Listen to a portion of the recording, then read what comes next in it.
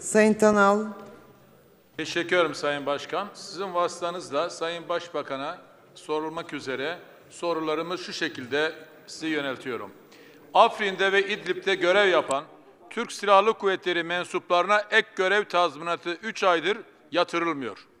Söz konusu durum Suriye'de görev yapan ve yapmakta olan askerlerimize maddi ve manevi anlamda zarar vermektedir.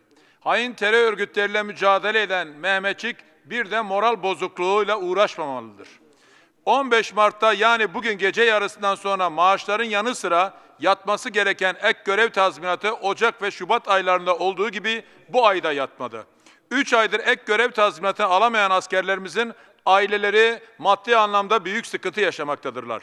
Suriye'de Elbap'ta, İdlib'de ve Afrin'de görev yapan tahminen 2500 askeri personelimizin hiçbiri 3 aydır ek görev tazminatını alamıyor.